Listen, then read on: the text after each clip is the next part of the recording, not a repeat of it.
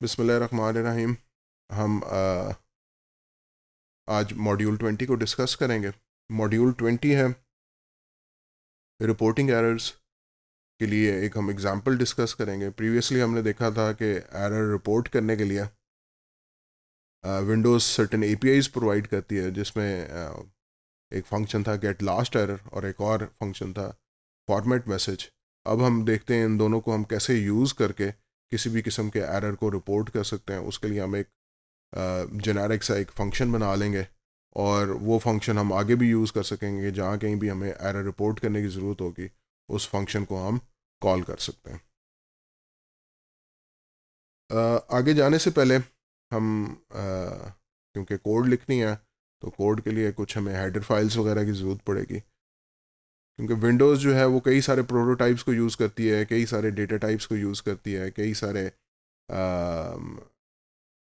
Functions को ए को use करती है। तो उन सारों की प्रोटोटाइप्स मुख्तलिफ़ हेडर फाइल्स के अंदर पड़ी होती हैं। ज़्यादातर विंडोज़ डॉट एच के अंदर है।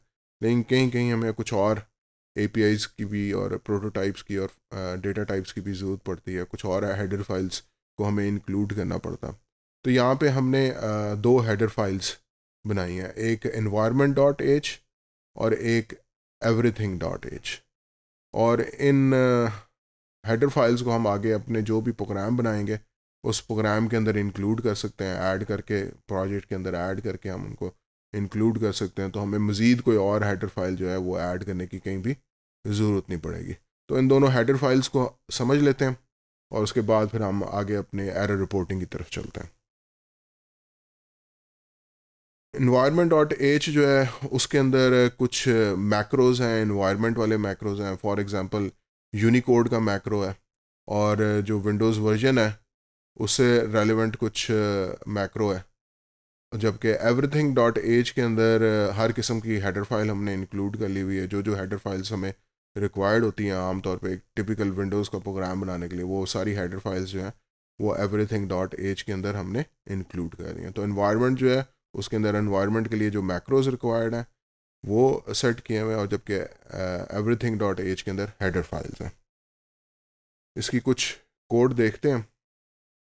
इन्वायरमेंट डॉट एच के अंदर यहाँ पे जस्ट वो इनिशियली ये चेक करता है कि विंडोज़ जो यूज़ हो रही है उसका क्या वर्जन है। और जो भी उसका वर्जन है, उसके अकॉर्डिंगली ये एक वैल्यू डिफ़ाइन कर रहा है, एक मैक्रो डिफ़ाइन कर रहा है Win thirty two Win NT और उसको एक वैल्यू असाइन कर रहा है। और इसको हम आगे कहीं चल के आगे मुख्तलिफ़ प्रोग्राम्स के अंदर इस चीज़ का इस्तेमाल करेंगे कि अगर एंटी की सपोर्ट शामिल है तो यहाँ पे हम एक फ्लैग सेट कर एक मैक्रो सेट कर और उसको हम आगे कहीं यूज़ कर सकेंगे। इसके अलावा यहाँ पे आप देख सकते हैं कि इन्वायरमेंट के अंदर ही यूनिकोड का जो मैक्रो है उसको डिफ़ाइन किया जा रहा है, जो अंडर स्कोर यूनिकोड है। अगर वो देखेगा कि आपने अपनी सेटिंग्स के अंदर यूनिकोड डिफ़ाइन किया हुआ है, जो यूनिकोड विदाउट अंडर स्कोर है, ये सेटिंग्स के अंदर आपको स्पेसिफाई करना पड़ा है। कंपाइलर की सेटिंग्स के अंदर आपको स्पेसिफाई करना पड़ता है। अगर ये डिफाइंड है कंपाइलर की इन्वायरमेंट के अंदर तो ये अंडर स्कोर यूनिकोड का मैक्रो जो है, वो भी डिफ़ाइन कर लेगा। इन दोनों में जो फ़र्क है, वो हमने प्रीवियसली डिस्कस किया हुआ है। इसके अलावा यहाँ पे वो डिफ़ॉल्ट लैंग्वेज जो है, वो भी सेट कर रहा है। यहाँ पे जिसने डिफ़ॉल्ट लैंग्वेज इंग्लिश सेट कर लिया है और सब लैंग्वेज जो है वो यूएस की इंग्लिश सेट कर दी है। तो ये सारा इन्वायरमेंट के बारे में इंफॉर्मेशन होगी। अब एवरीथिंग डॉट एच के अंदर आते हैं। एवरीथिंग डॉट एच के अंदर उसने क्या किया कि इन्वायरमेंट डॉट एच को भी इंक्लूड कर लिया। विंडोज़ डॉट एच जिसके अंदर हमारे सारे हेडर फ़ाइल बने हुए हैं। टी चार डॉट एच जिसके अंदर हमारे जेनेरिक फ़ंक्शंस पड़े हुए हैं। एस टी आया हो क्योंकि हम कमांड लाइन के ऊपर काम कर रहे हैं तो हमें एस टी डी की भी ज़रूरत पड़ सकती है। स्टैंडर्ड लिब को मेमोरी एलोकेशन के लिए हेडर्स जो हैं, अगर आगे हम देखेंगे, हमें ज़रूरत पड़ेगी मेमोरी डायनामिकली एलोकेट करने के लिए। आयो इनपुट आउटपुट ऑपरेशंस के लिए आयो डॉट एच विन सॉक जो विंडोज़ के सॉकेट ऑपरेशंस हैं, उनके लिए हेडर फाइल्स हैं, और स्पोर डॉट एच और प्रोसेस डॉट एच प्रोसेस जब हम मल्टी टास्किंग जब हम मल्टी थ्रेडिंग वगैरह करेंगे तो वहाँ पे हमें प्रोसेस डॉट एच की भी ज़रूरत पड़ेगी। तो ये सारे जो चीज़ें हैं, ये एवरीथिंग डॉट एज के अंदर डिफ़ाइन हो गई हैं। अब आगे हमें किसी भी प्रोग्राम के अंदर और कुछ भी डिफ़ाइन नहीं करना पड़ेगा। आप जस्ट अपने प्रोग्राम के अंदर क्या इंक्लूड करेंगे? एवरीथिंग डॉट एज और कुछ भी आपको इंक्लूड नहीं करना पड़ेगा। अब आते हैं हम अपने एरर रिपोर्टिंग फ़ंक्शन के ऊपर। जो एरर रिपोर्टिंग फ़ंक्शन है, उसका हमने नाम रखा है रिपोर्ट एरर जो रिपोर्ट एरर है, इसके अंदर आप देख सकते हैं कि तीन पैरामीटर्स हैं। पहला पैरामीटर जो है, वो जेनेरिक स्ट्रिंग है, उसका नाम हमने रखा हुआ है यूज़र मैसेज ये वो मैसेज होगा कि यूज़र की तरफ़ से होगा। फॉर एग्ज़ाम्पल यूज़र जो ऑपरेशन परफॉर्म कर रहा है, वो फाइल्स के ऊपर ऑपरेशन परफॉर्म कर रहा है।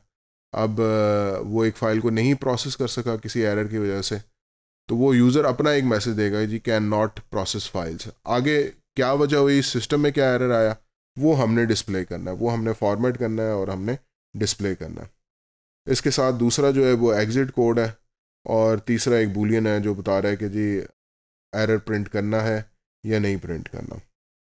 यहाँ पे आप देख सकते हैं एक और फ़ंक्शन के अंदर एक L P V sys message ये एक स्ट्रिंग डिफाइन हुई हुई है। ये जेनेरिक स्ट्रिंग है। जो हमारा एरर मैसेज होगा, वो इस स्ट्रिंग के अंदर स्टोर होगा। हम यहाँ पे क्या कर रहे हैं? गेट लास्ट एरर किया। गेट लास्ट एरर एरर नाम के अंदर हमने स्टोर कर लिया। अब अगर यूज़र ने कहा है कि जी, जो भी एरर मैसेज है, उसको प्रिंट करो। हमने एरर मैसेज ले तो लिया लेकिन अगर वो कह रहा है कि साथ प्रिंट भी करो तो उस केस के अंदर हम जो एरर कोड है, उसको फॉर्मेट करेंगे फॉर्मेट करके एक स्ट्रिंग के अंदर जब आ जाएगा तो उसको हम डिस्प्ले भी करेंगे। तो यहाँ पे आप देख सकते हैं कि फॉर्मेट मैसेज का फ़ंक्शन यूज़ हो रहा है। इसके शुरू में कुछ फ्लैग्स हैं। ये फ्लैग तो फ़िलहाल ये बता रहा है कि जी जो भी स्ट्रिंग होगी, उसके लिए बफर खुद ही से ये एलोकेट करे फ़ंक्शन और सिस्टम से मैसेज ले। जो इसकी डिटेल है, इसके अंदर कौन कौन से फ्लैग्स यूज़ होते हैं, वो आप एमएसडीएन के अंदर देख सकते हैं। एरर नाम जो है, यहाँ पे हमने कोड स्पेसिफाई किया जो हमारे पास एरर कोड आई है, वो हमने ई आर आर नाम जो है, वो हमने यहाँ पे कोड स्पेसिफाई किया है, जो एरर कोड है। और इसी तरह मेक लैंग्वेज आईडी जो हमने लैंग्वेज यूज़ कर रहे हैं, उसके लिए आईडी बनाएगा। क्योंकि इसने क्या करना है कि इस एरर नाम के अगेंस्ट इसने एक स्ट्रिंग में उसको ट्रांसलेट करना है। एरर नाम जो है वो जस्ट एक नंबर है। वहाँ से हमें नहीं पता लग रहा कि क्या एरर है। जब वो इंग्लिश के अंदर या किसी लैंग्वेज के अंदर ट्रांसलेट होगा, तब हमें पता चलेगा ह्यूमंस जो है वो स्ट्रिंग को अंडरस्टैंड कर सकते हैं, उस नंबर को अंडरस्टैंड नहीं कर सकते।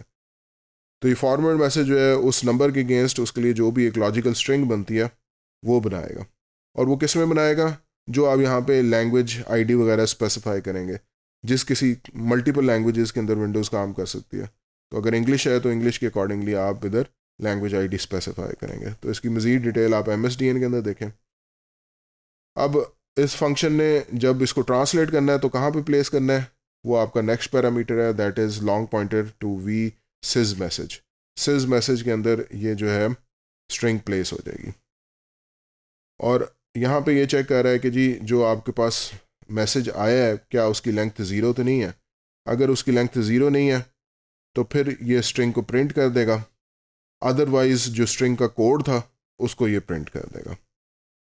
और फिर इन द एंड क्योंकि प्रीवियसली आपने देखा कि मेमोरी एलोकेट हुई थी स्ट्रिंग को स्टोर करने के लिए, और उस मेमोरी का reference L P V sys message के अंदर था तो अब आप, अब प्रोग्रामर के ऊपर है कि मेमोरी को डी एलोकेट भी करें। तो यहाँ पे लोकल फ्री की मदद से आप उस मेमोरी को डी एलोकेट कर। रहे हैं और एग्ज़िट कोड आप देख रहे हैं इज़ ग्रेटर देन ज़ीरो तो प्रोसेस को एग्ज़िट आप कर जाएँगे